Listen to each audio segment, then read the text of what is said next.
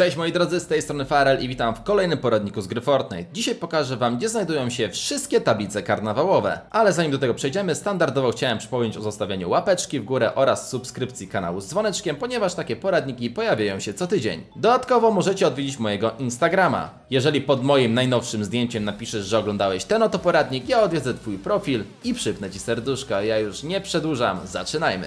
A więc tak moi drodzy, pierwsza tablica znajduje się w przyjemnym parku. Dokładnie w tym oto miejscu. Jak widzicie, musimy tutaj kilofem uderzać w taką tablicę. Baloniki przebijać, tak? Raz. I pięć. Proste? Proste.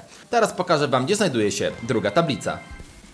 Uuu, 5 punktów. Jeżeli ten poradnik w jakimś stopniu Ci pomógł, moje poprzednie poradniki również możesz się odwdzięczyć wspierając mnie w sklepie Fortnite z kodem Gaming with Farrell. Jest już nas ponad 16 tysięcy. Przypominam, że kod się resetuje co dwa tygodnie, więc fajnie było jakbyś sprawdził, czy masz w prawym górnym rogu w sklepie wspieranego twórcę wpisane Gaming with.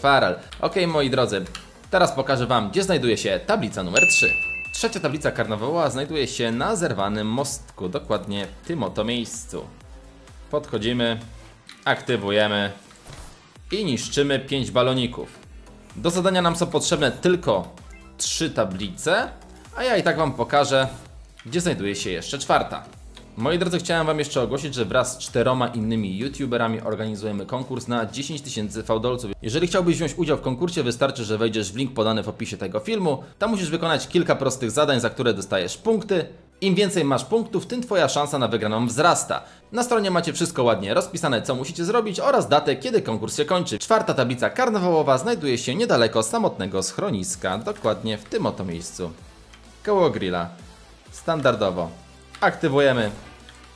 Bijemy balony i zadanie mamy wykonane. Moi drodzy, to było na tyle z tego odcinka. Mam nadzieję, że w jakimś stopniu Wam pomogłem. Jeżeli tak, zostawiajcie łapeczki w górę, subskrybujcie kanał z dzwoneczkiem. Dodatkowo przypominam o konkursie na 10 tysięcy fałdolców. Bierzcie udział, bo to jest 100% legitny konkurs. Im więcej zdobędziesz punktów, tym Twoja szansa na wygraną jest większa. Standardowo na koniec chciałem jeszcze przypomnieć, że możecie mnie wesprzeć z kodem Gaming Ja dziękuję jeszcze raz wszystkim za uwagę. Trzymajcie się. Cześć!